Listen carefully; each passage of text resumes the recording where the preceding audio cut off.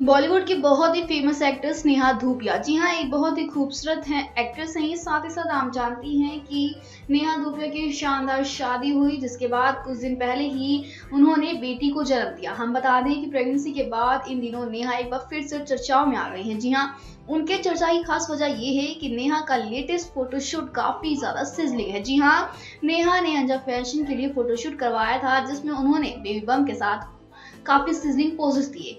हम बता दें ये फ़ोटो उस वक्त का है जब नेहा दुबिया प्रेग्नेंट थी। हालाँकि नेहा ने अपनी बेटी के जन्म के बाद इस फोटोशूट की तस्वीरें अब शेयर करी हैं। आपको बता दें कि नेहा और अंगद ने अपनी बेटी का नाम मेहर रखा है।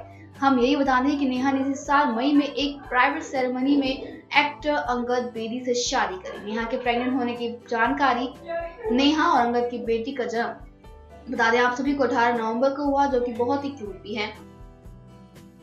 नेक्स्ट लाइफ से हिमाशी की रिपोर्ट